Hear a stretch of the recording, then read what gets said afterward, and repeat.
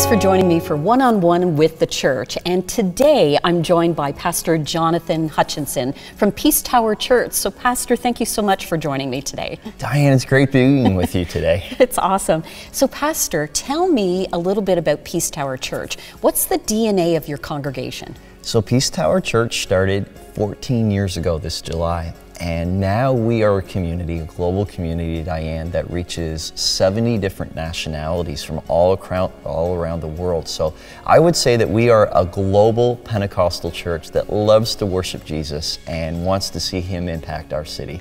Wow, that's powerful. I, I, I didn't realize that about Peace Tower Church. So dive a little bit deeper into that. Um, what is the passions, the giftings, the abilities of your congregant members, and how do they impact the community? If they're a global community themselves here at Peace Tower, how do they reach out? Well, there's many different ways uh, that Peace Tower Church uh, reaches the community, and we, number one, you're talking about our DNA, Dianne. We love Jesus passionately. We want more of God, and we have a heart to see revival and the Spirit of God move. So, one of the ways that we've been working this out in the community is by doing Alpha. Uh, so this past September, we had our team go out into the community. We had 48 people at Alpha this past fall wow. participate in our Alpha program. Very, very exciting.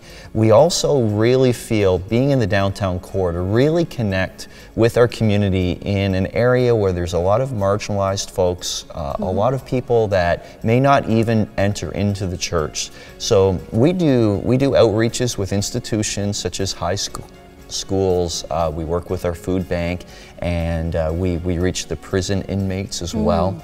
But one of the new things that we've just done is called Connecting Streams. And uh, so we every week do visitation right down the street in St. Vincent's Hospital to people that might never get a visit from anybody else. We've got people visiting them each week.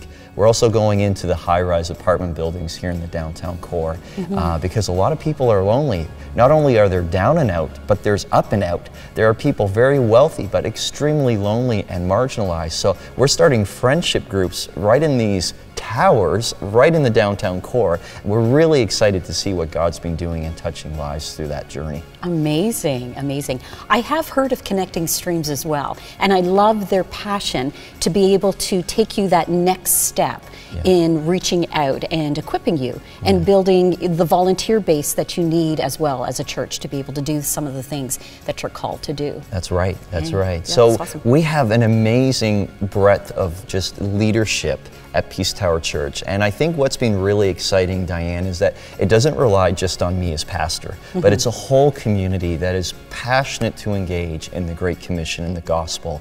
And that's what I love about our, our community is that vibrancy, just to say, okay, we love this beautiful sanctuary, Dianne, and uh-huh. it's very scenic, but we want to take the message outside the four walls.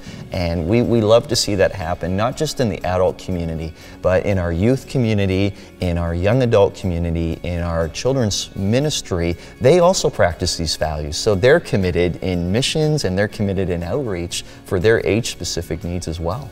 So you and the other pastors of this church are actually equipping the believers here to do the Great Commission. That's right. To go out at whatever age they are at. Whatever age and stage, we believe it's a simple gospel that Jesus Amen. invites us all into. So at Peace Tower Church, um, that, that's part of our DNA to be spirit filled disciples of Jesus impacting our world for His glory. Amen. Well, Pastor, thank you so much for joining me for One on One with the Church. This has been an absolute blessing to Thanks us. Thanks so much, Dianne. Great to be with you today.